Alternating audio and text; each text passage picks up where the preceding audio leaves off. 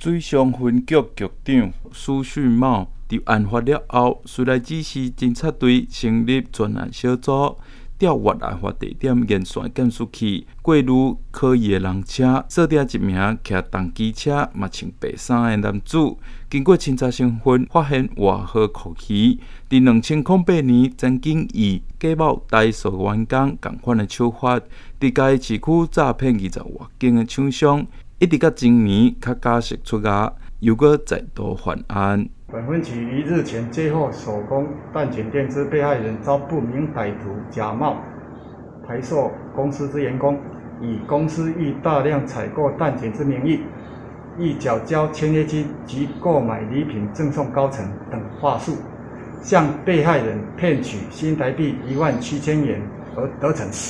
本分局立即成立专案小组，调阅路口监视器比对，发现呈现嫌犯设有重嫌，于昨十九日中午巡线在太保高铁站逮捕陈宪到案，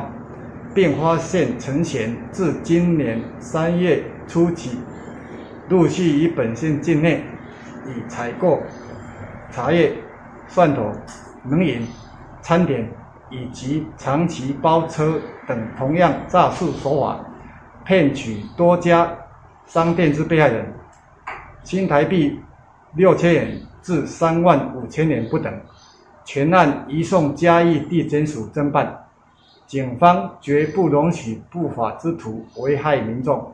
并呼吁民众不要轻易相信来路不明之人士，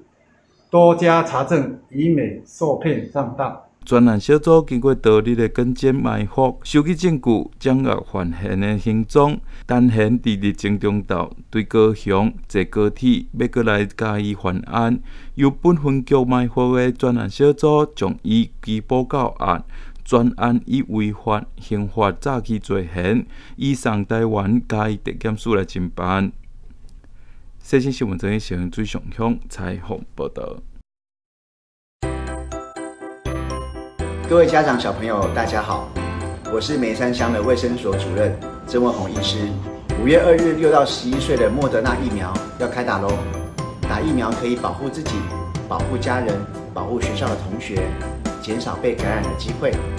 打针的时候有一点点痛，其实真正的痛啊，那时间不到一秒，大部分都是害怕和恐惧带来的痛。打疫苗之前，深呼吸，不要看打针的地方。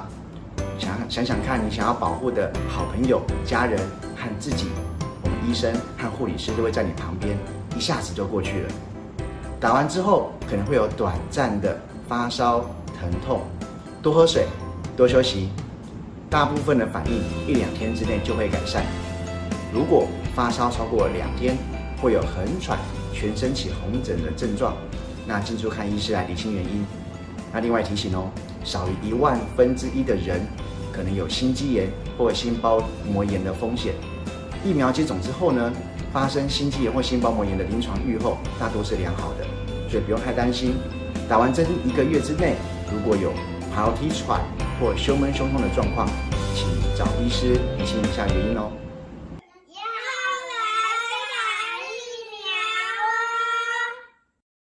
各位朋友，大家好，我是嘉义县长翁章良。随着疫情的升温，我要提醒大家，新冠肺炎的确诊以轻症为主，确诊者做好门诊分流，不恐慌，体谅防疫人员的辛苦，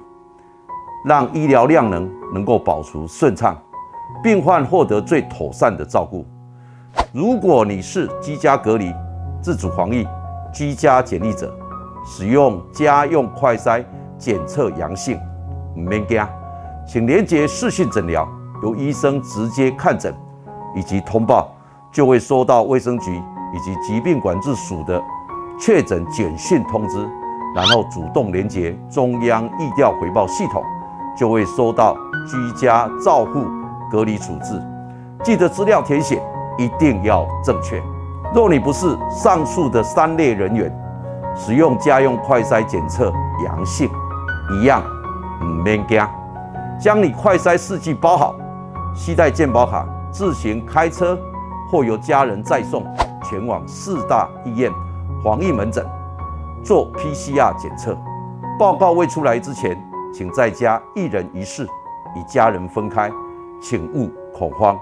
如有呼吸困难、气喘、胸闷以及持续的胸痛等紧急状况，请打一一九，或由家人直接送医院诊疗。最后，我要呼吁我们所有的亲朋好友，戴口罩、打疫苗，全力配合政府的防疫措施。若有问题，可拨打关怀中心的电话零五三六二一一五零，由专人为你服务。